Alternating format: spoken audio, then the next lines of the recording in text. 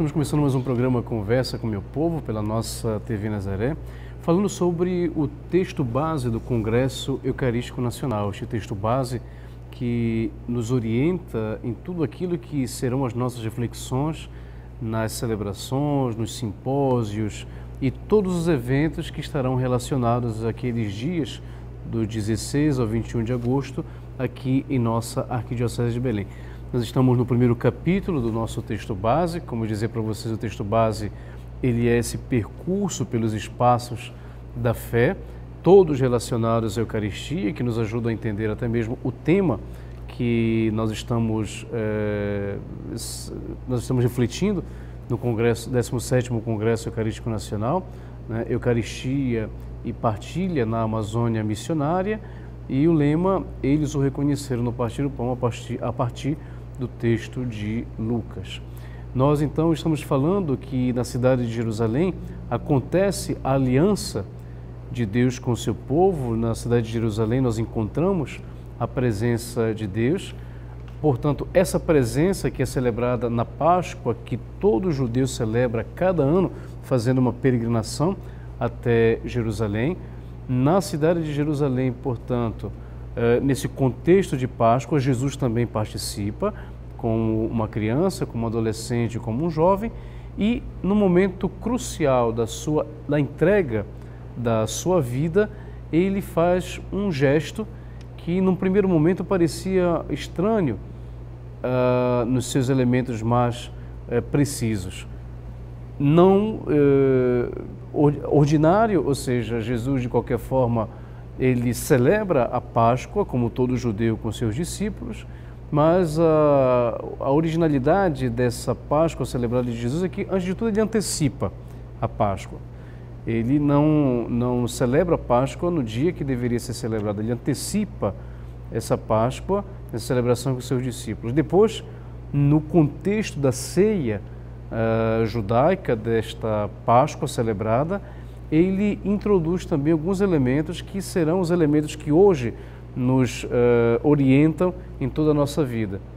Ele, naquele pão e naquele vinho que ele dá aos discípulos, ele diz essas palavras: Tomai e comei todos vós, isto é o meu corpo, isto é o meu sangue, e conclui dizendo: Fazei isto em memória de mim. Portanto, o que é esse fazer isto? Em memória de mim.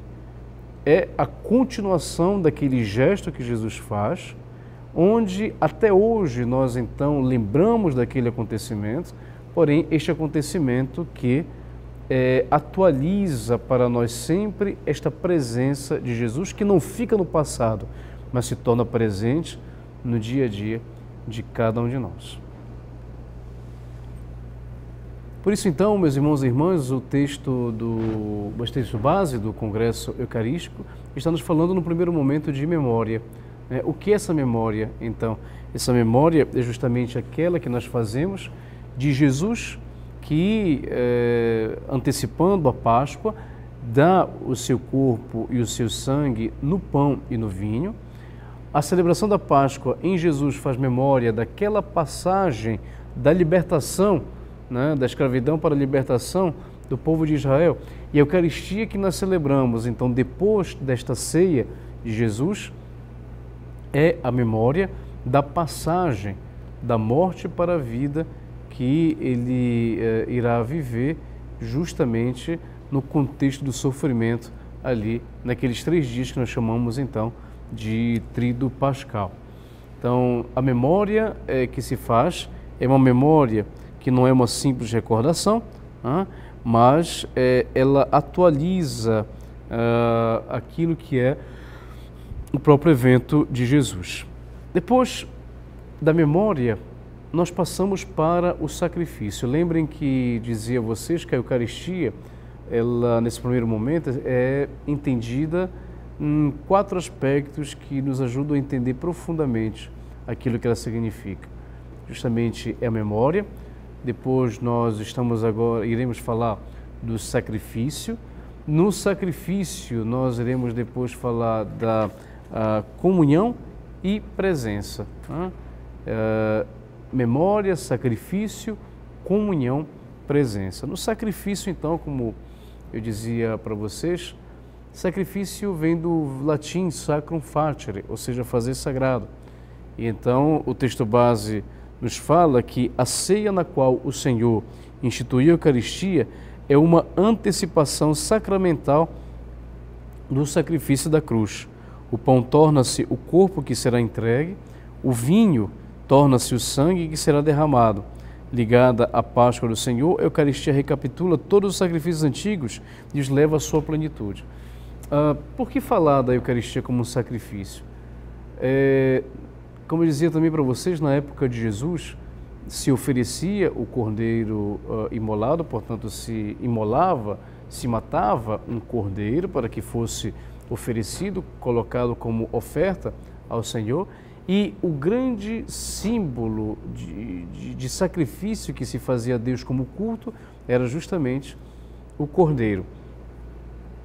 Com Jesus, teremos um cordeiro, mas um cordeiro né, homem, um cordeiro que é ele próprio. No sacrifício da cruz, nós entendemos que Jesus se dá em sacrifício, se dá em oferta para a nossa salvação.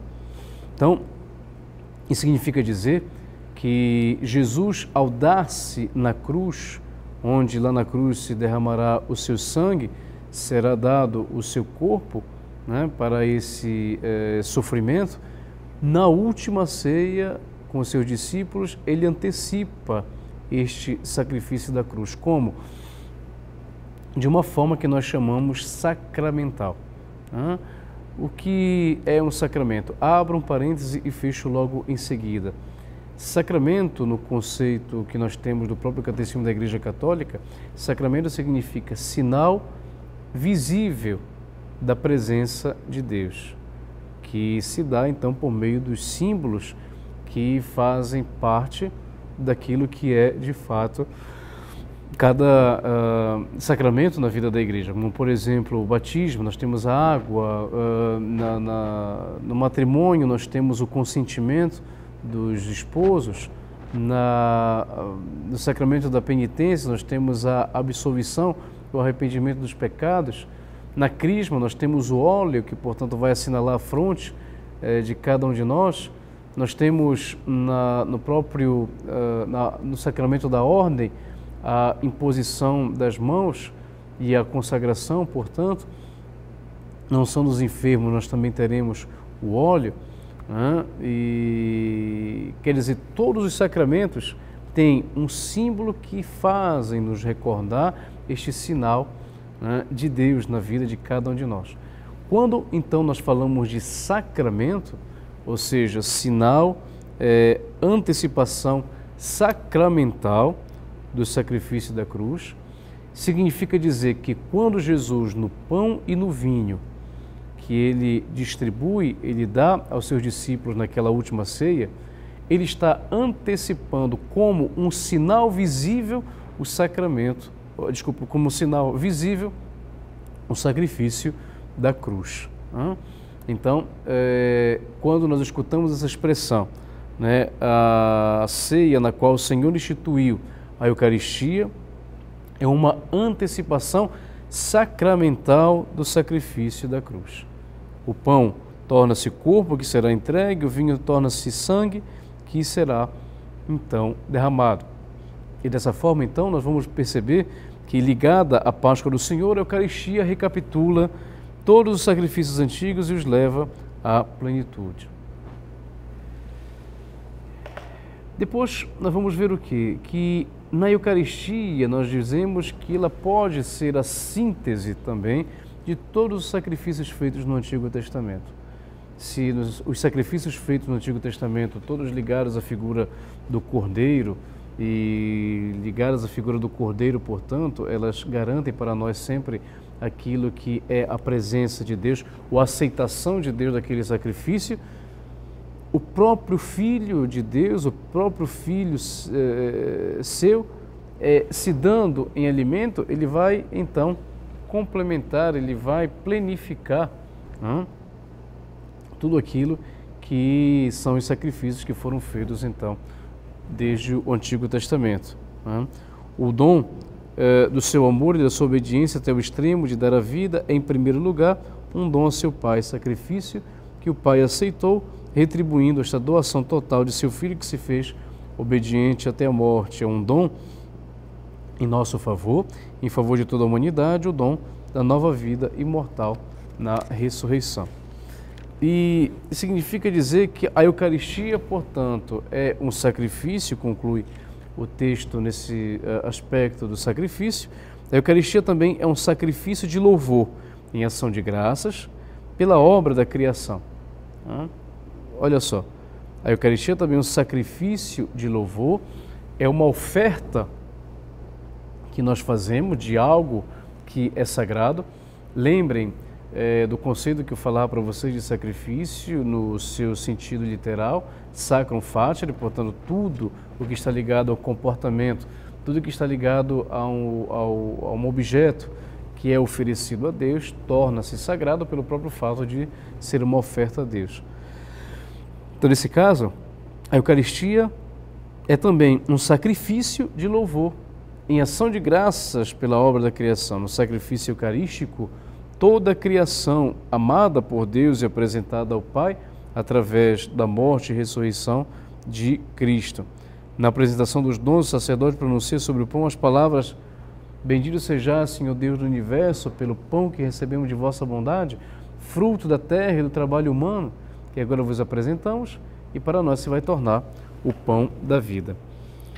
Bendito, portanto, seja o Senhor que cumpre o milagre de transformar né, transformar o pão e o vinho no seu corpo e sangue, e esses dons são alimentos que nos nutrem para a vida eterna.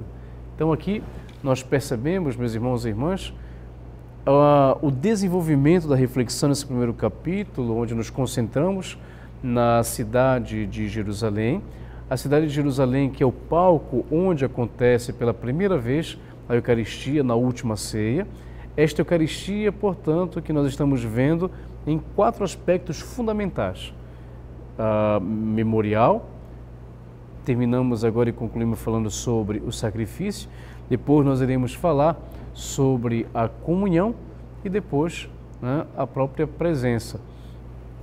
Esses quatro aspectos ligados diretamente à Eucaristia. Nós então daremos continuidade a essa reflexão já falando justamente sobre aquilo que é a Eucaristia como uh, comunhão, ou seja, o que nós podemos entender sobre comunhão a partir da celebração da Eucaristia. Então, nós voltaremos logo mais com o programa Conversa com Meu Povo.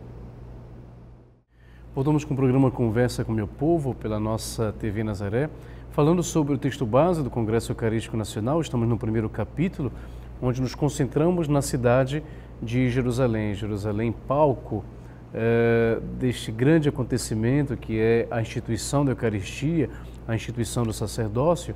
Nós estamos vendo o que significa, portanto, a Eucaristia como memorial, sacrifício, comunhão e presença. Nós falamos da Eucaristia como um memorial, ou seja, na Eucaristia celebrada naquele contexto da Páscoa, nós fazemos memória do, do que Jesus fez, do que Jesus entregou na sua vida por nós, para a nossa salvação. Na Eucaristia, nós fazemos memória daquele acontecimento onde é, Jesus então quer continuar presente é, conosco por meio da Eucaristia. Não é apenas um, uma simples recordação, mas uma recordação que se atualiza constantemente a partir do nosso comportamento, a partir do nosso entendimento. A Eucaristia é como se fosse ganhando sentido, fazendo memorial dela na, na, na missa, é como se ela fosse ganhando sentido sempre a cada vez que nós vamos celebrando a própria Eucaristia. Nós vamos entendendo aos poucos aquilo que um dia vai ser depois a plenitude de todo esse entendimento sobre a Eucaristia, que é quando nós estaremos no céu.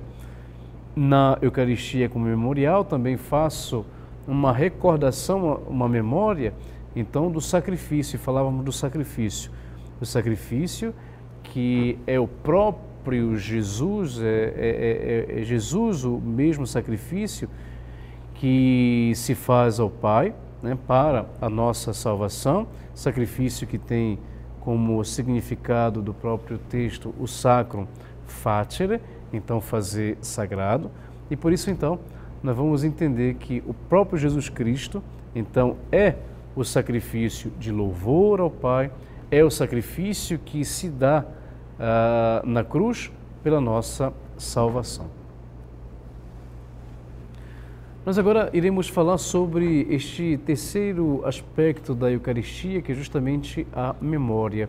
Ah, desculpe, a comunhão.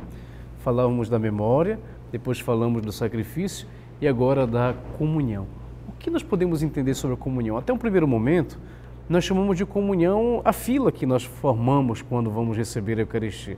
Nós vamos para a comunhão nesse momento. Nos preparemos para a comunhão.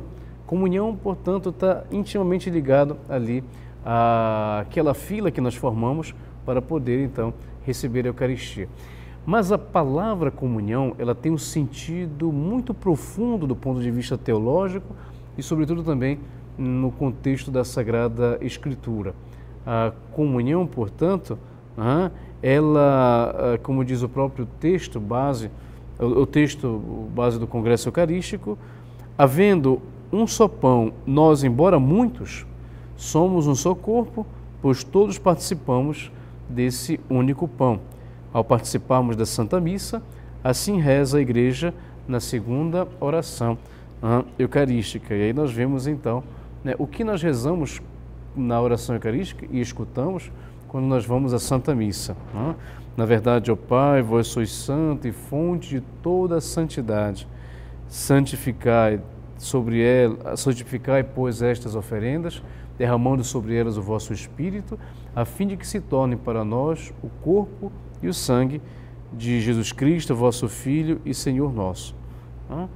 Depois nós fazemos a narrativa da, da, da Eucaristia, então significa que esta Eucaristia é celebrada, por mais que seja celebrada em diversas partes do mundo e por muitas pessoas, esta Eucaristia, ela nos faz estar em comunhão.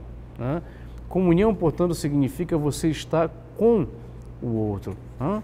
E a igreja, portanto, celebrada, é, a Eucaristia celebrada em comunhão com toda a igreja, seja celeste, seja terrestre, é a oferta feita por todos os seus membros, vivos e mortos, os quais foram chamados a participar da redenção e da salvação adquirida por meio do corpo e do sangue né, de Cristo.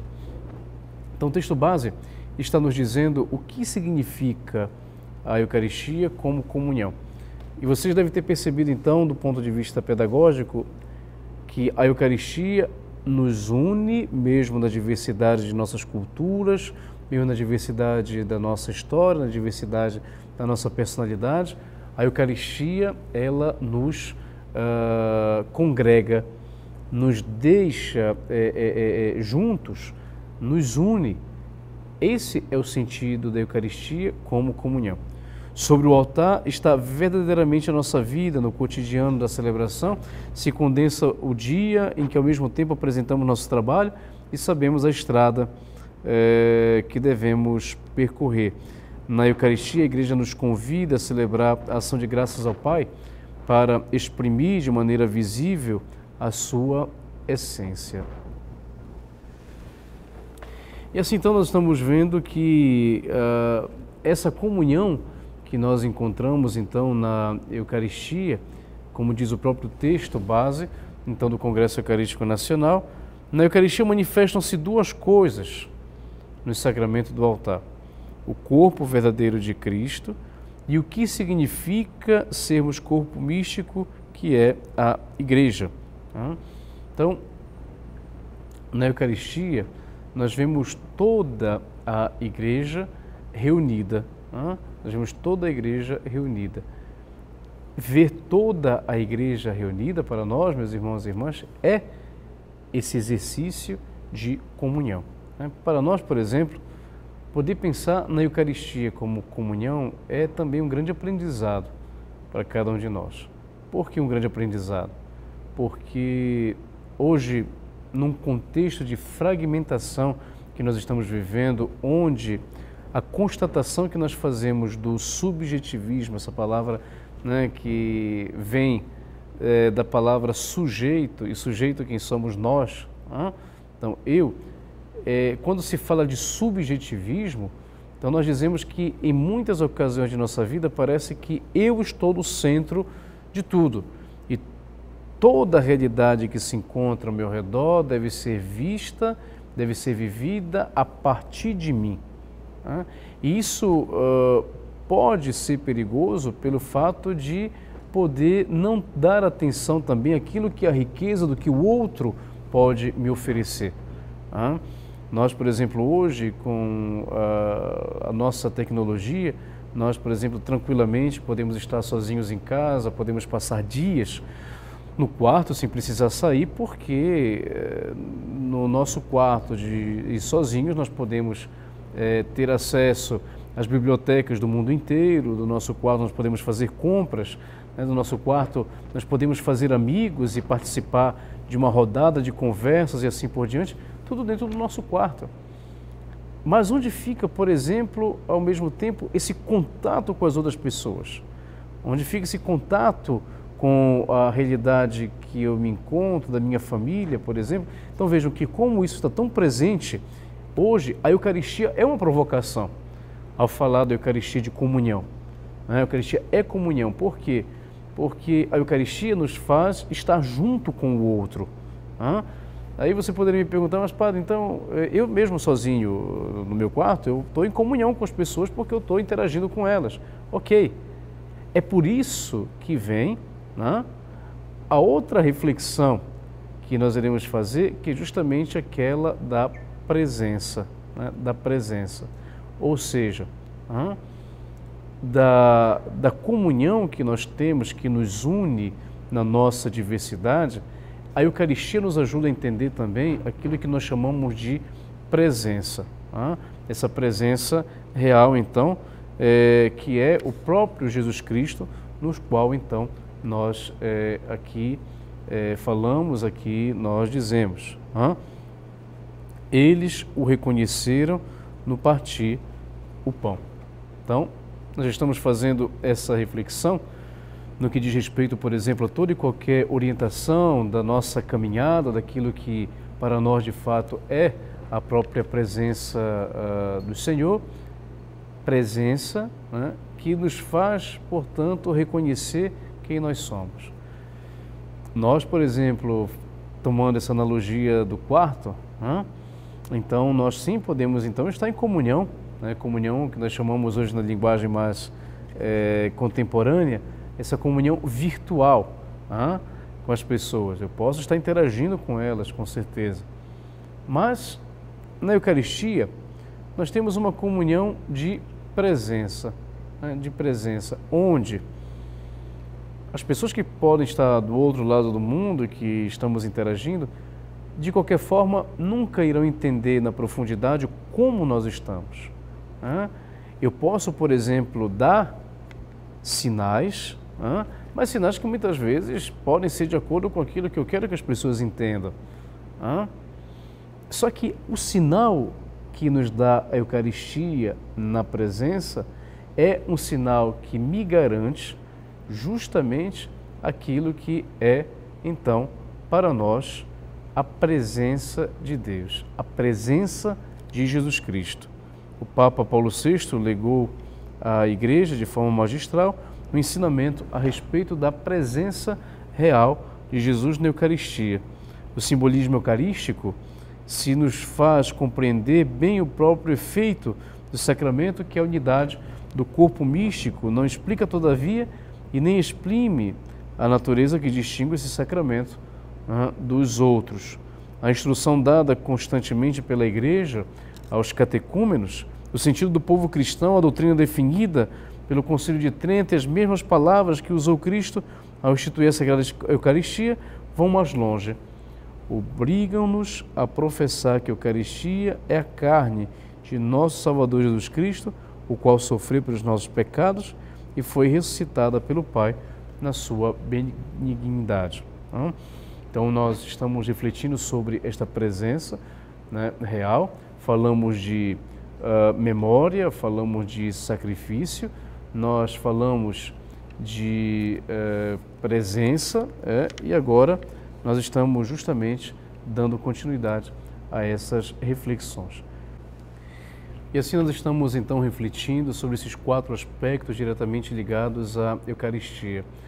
A memória que nós fazemos de, na Eucaristia do sacrifício de Jesus na cruz. Depois nós falamos sobre o próprio sacrifício, o que significa esse sacrifício do próprio corpo e sangue de Jesus para a nossa salvação. Este sacrifício que nos faz estar em comunhão com nossos irmãos e o que significa essa comunhão estarmos juntos, sentirmos-nos todos juntos um com os outros e esta comunhão que é, nos dá o sinal de uma presença. Né?